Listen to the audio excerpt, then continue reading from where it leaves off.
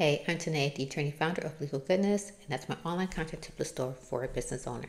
All right, so today I want to talk about a few ways that you can protect your content from theft. If you are a business owner that operates in any capacity online, uh, particularly if you're marketing and you're sharing that content uh, with the public, there's always these this uh, underlying threat, unfortunately, of someone stealing and using it for their own uh, purposes, right? So first up, I'm basically going to talk about having a terms of use. Um, so terms of use, that's a part of your website terms. Um, if you follow me at all, you know that I'm always talking about my holy grail, right? So my holy grail consists of a terms of use, um, also known as terms and conditions or TNCs, which is uh, linked in the footer of your website. Um, right next, uh, right next to it is usually a privacy policy, and then you may also have um, website disclaimers as well.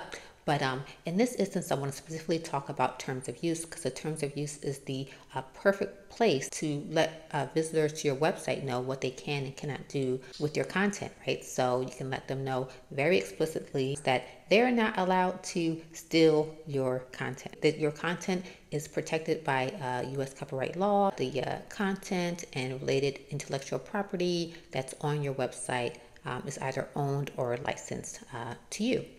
What I like about this very simple step is that it, it gives uh, people notice, right? So you are putting them on notice that this is your IP, um, that you are aware that it's your IP, and you want folks to know that this is not available for them to steal, copy, sell, distribute, you know, in any manner. Actually, wait, wait, wait, let me amend that really quickly because if you're using license terms, which is another type terms of use, then yes, there are some caveats to allowing people to, um, to, to sell the content that you have. So uh, if you want to know more about license terms, I will link that uh, video above. But um, generally speaking, if you're not giving someone the right to uh, resell or share it, then that's the type of language you want to have in your terms of use.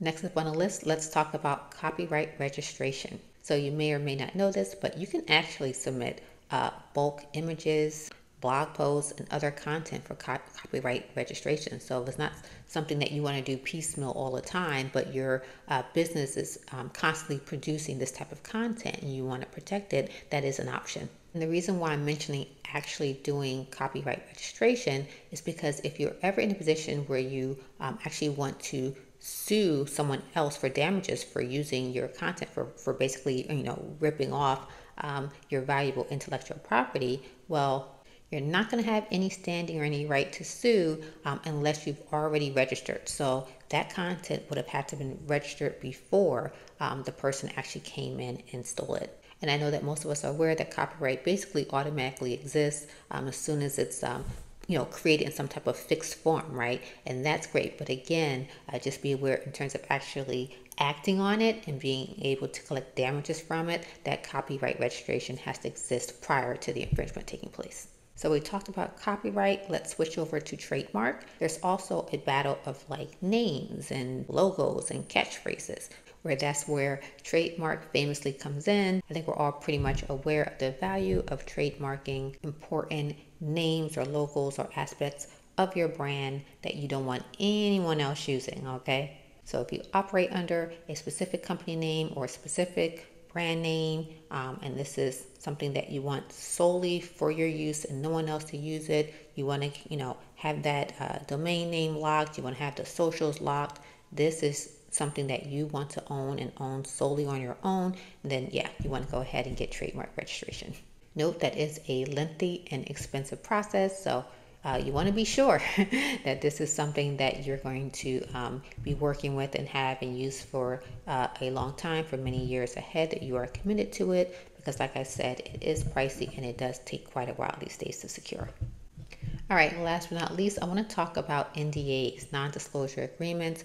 This is a super valuable way uh, to protect against content theft. This uh, type of agreement um, would be used more so with people that you're actually engaged with, that you're working with, right? So whether it be an employee, an independent contractor, um, whether you're working with a partner or a collaborator, right? This is uh, the perfect instance uh, to use an NDA because a lot of times you you know you may be sharing ideas, right? Maybe some ideas for something that hasn't even come into fruition yet. You're not even working on it yet, but you have a spark, you have an idea, and you're having conversations. Now, ideas are not protectable under um, copyright law, so uh, an idea would have to be actually expressed in, in a fixed form, right? Like um, a book, for instance, a, a piece of artwork, right?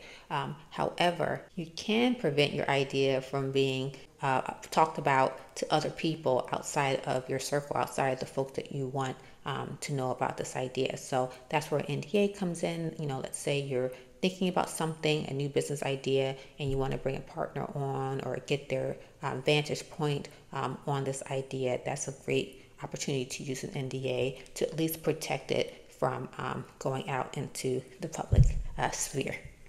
Now, I have lots more to say about the topic of NDAs and protecting um, content and protecting your ideas. I made a whole video about it, so I will link that as well. Be sure to check it out. All right, so for more information about uh, protecting your ideas, protecting your intellectual property, uh, protecting those valuable um, intangible assets that you don't want other folks stealing and using for their own benefit, take a look at Legally Good Club. That's my all in one contract and video suite. Um, it has 12 contract templates, it has modules all about trademark and copyright protection.